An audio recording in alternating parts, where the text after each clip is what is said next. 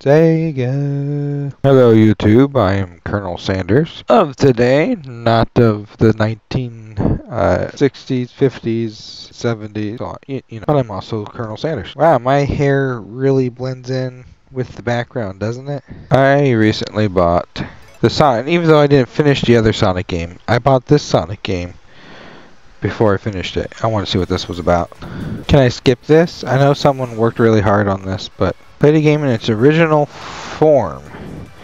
I remember in elementary school, we played Sonic during computer class, and we were graded on it. I remember that. Let's see what the anniversary mode is. Evil Eggman.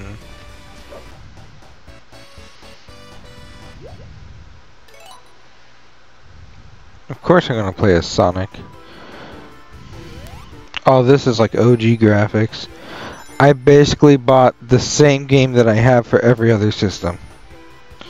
That's what this is telling me. That is what I'm getting from this. Ooh.